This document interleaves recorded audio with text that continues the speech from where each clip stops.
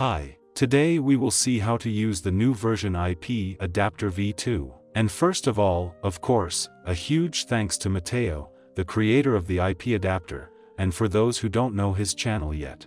You should visit it, and of course give it a big like because without it many of the things we do with these tools were not possible. So, as always, we will start at the beginning, and the first thing is to update Comfy, enter the manager and click update Comfy UI, now you need to update the IP adapter node, for me it worked through the manager, without any problem, but if it doesn't work for you, it is possible to update manually. You will find in the description of the video a link to this GitHub page and from here you can also reach all the models you need, but if you have already worked with the previous version of the IP adapter, you probably already have these models on your computer.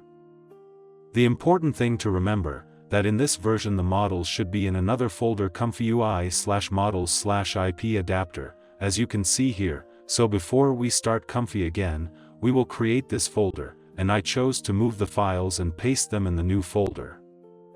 You can also create a link to the location their old one using the extra model paths.yaml file.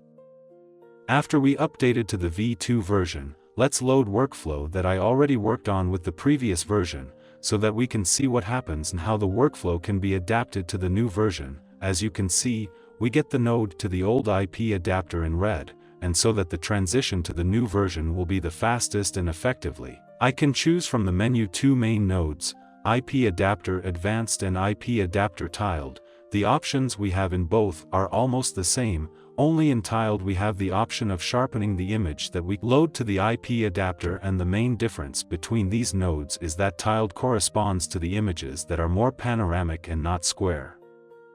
And also prepares them for the IP adapter, so I don't need the prepare image to clip vision node, so in this case I will continue with the tiled one.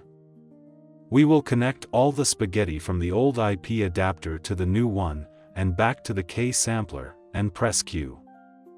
And you can see that we got this error message, and that's because we didn't delete the old node. So we'll just delete the old IP adapter, and press Q again.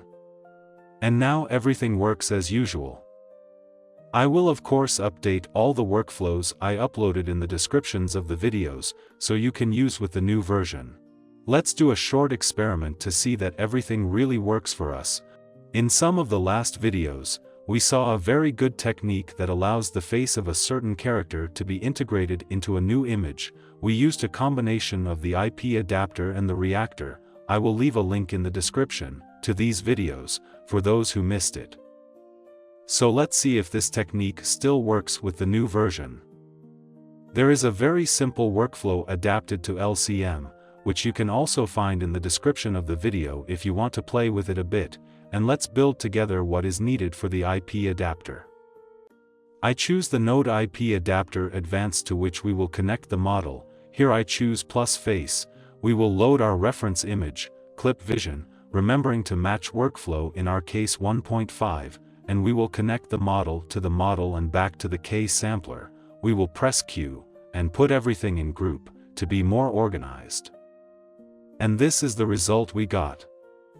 Let's go through the second pass, copy the K sampler, the VAE decode and the preview image and paste with all the connections with Ctrl plus Shift plus V, connect the latent from the first K sampler, change the seed, the denoise, and extract Q.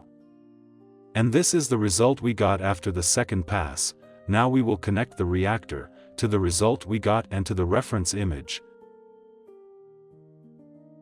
And this is the result after the reactor, I'll try with face restore model, and this is the final result we got, which I think is very relative close to the reference image. So as you have seen it is quite simple to update the old workflows with the new version of the IP adapter. And again, a huge thank you to Matteo for his contribution to Comfy, and to the community. So I hope you learned and we will meet in the next lessons. You are of course welcome to ask questions, subscribe to the channel, and like, if you liked it. And most importantly, have fun, bye.